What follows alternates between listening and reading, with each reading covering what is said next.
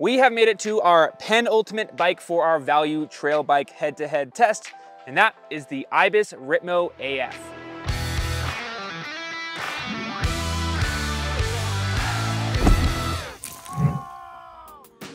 The Ibis Ripmo AF GX build lists for $2,999 and is the longest travel bike on test with 147 mils in the back paired with a 160 millimeter fork.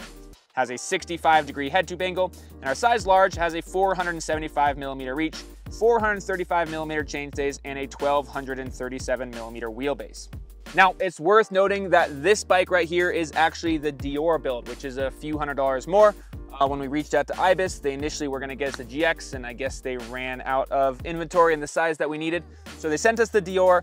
Um, really the only difference between these bikes is they swapped the Deore drivetrain for uh, a GX, which in my opinion might even be an upgrade, even though it's cheaper.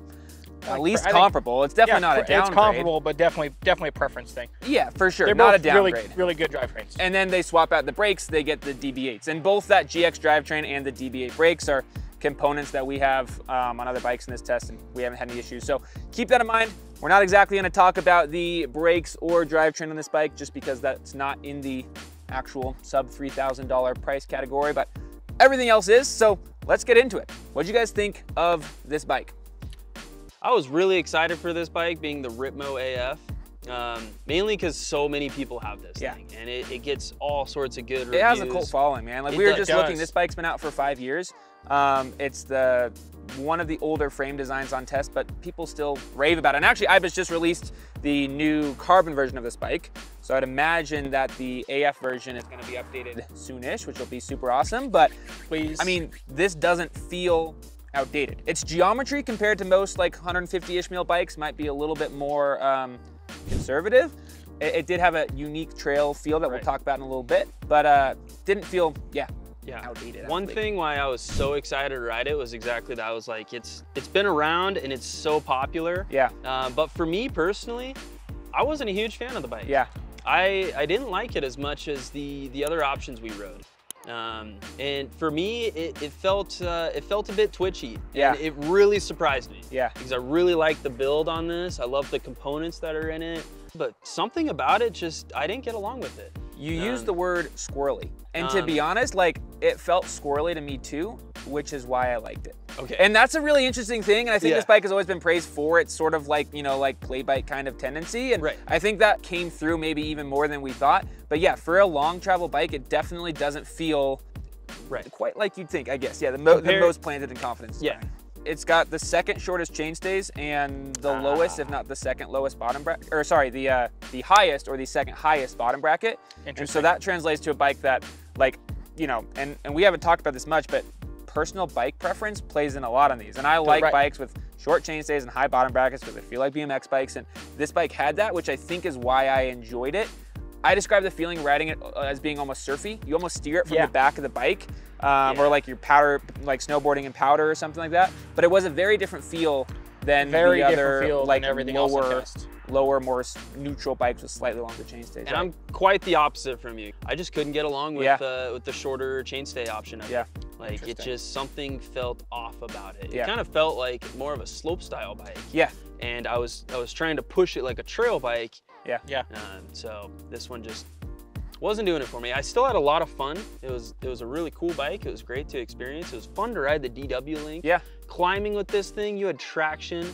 Uh, you have more traction than any other bike you had. Yeah. It, it, it was active when you wanted it to be, and yeah. then it was still efficient, like on the non-technical parts. But but yeah, I mean exactly. the DW Link suspension, it's it's famous for a reason, and exactly. it just it climbs really well. And even on the descents, I think it has some some nice characteristics where it does you know have that it's a has that nice mid stroke where you kind of can pop off of it, but you can right. also, you know, send this thing. A lot of people usually talk about pedal bob when they ride full suspensions. Yeah. They don't want to be feeling like sure. you're bouncing while you're pedaling it. This one didn't have it. Yeah. This one yeah. felt very good at pedaling. I will say when when I did, did get up and sprint on this bike, it felt great, but the bike did creak on me. I don't know if anybody else got that. I didn't notice it, but I remember you mentioning that. Yeah, on the first the first ride we did on this, I noticed as I was grinding my way up the hill. Yeah. Because it's you know It has a lot more going on Sure. in the suspension. With the DW system, the there's a lot of DW link, and- you've got a one in the back and then the yoke too. So there's there's a lot more moving pieces with Yeah. this bike as opposed to any of the other bikes that we Right. we looked at. So more pivots, more bolts, more points to creak. Um, but one thing I will give it praise for is the uh, absurdly low standover. Yeah. Yeah. Like Yeah. for being a size large, I'm the shortest on test here, Yeah. so I got overruled. Uh, so, but I found this bike to be probably the most comfortable in terms of standover Yeah. uh, versus the rest of the bikes on test. The overall fit and finish is really nice. Yeah, yeah. Like you, you, uh, it has those Blackbird wheels, which are nice, have decently high engagement, and you said that you can make those higher engagement You by upgrading upgrade them, them, right? yes. Yeah, So Blackbird is their in-house, Ibis's in-house component brand. yeah.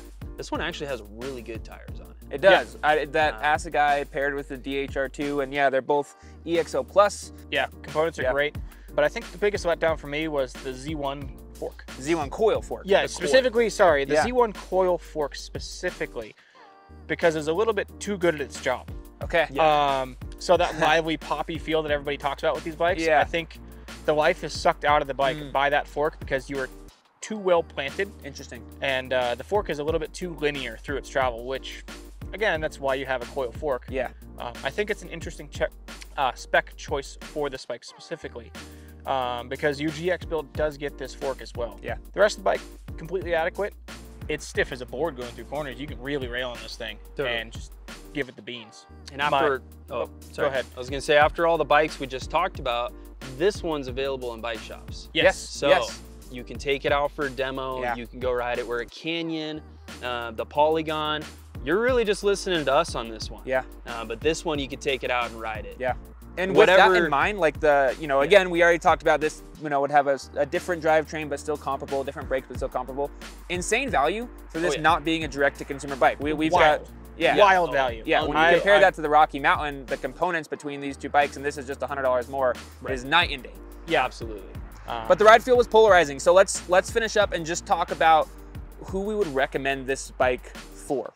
Uh, this one would be for, I would say the the, the cyclists that kind of know what they're doing.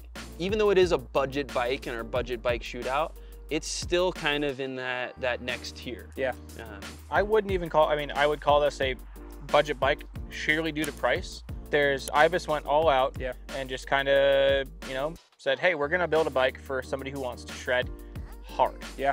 We mentioned already this frame is on the older side of things, and I think in some ways the geometry is a bit comes from maybe three or four years ago. You know, lots of bikes nowadays are getting longer rear ends, getting lower bottom brackets, getting slacker head tube angles, and if you kind of like that um, more maneuverable feel, maybe not quite as quick of a bike, uh, then it's cool that this is still an option and.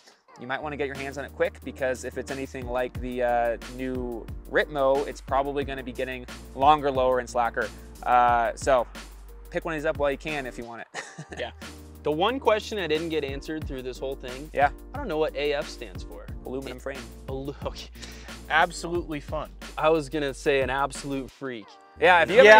any uh, ideas in the comments for what AF stands for, put it down there. Yeah, Absolute freak is pretty good. Absolute Yeah. freak. yeah, Aluminum frame. That's it's so simple. yeah, it's it too boring, man. Didn't even think about it. I know. so Yeah. that's these what it stood for. Yeah. But Yeah. you know, the aluminum frame. I like the fact that Ibis, who's notoriously built nothing but carbon bikes to last forever and a day, um, is building a value-forward aluminum frame, just shred missile. Yep.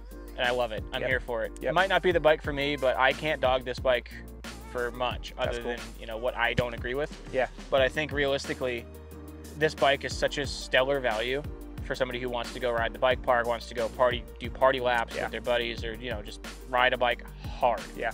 Cool. Well, that is Sweet. the Ibis. We have just one more bike that we are talking about that's sitting right behind me here. So make sure you don't miss that. Till then, remember that bikes are for everyone. Have fun out there.